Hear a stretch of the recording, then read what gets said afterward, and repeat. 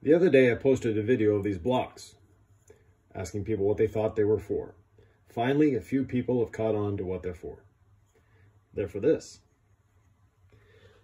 So this is a locking me mechanism for our drawers. It'll be actuated electrically. Now the door can't pull out.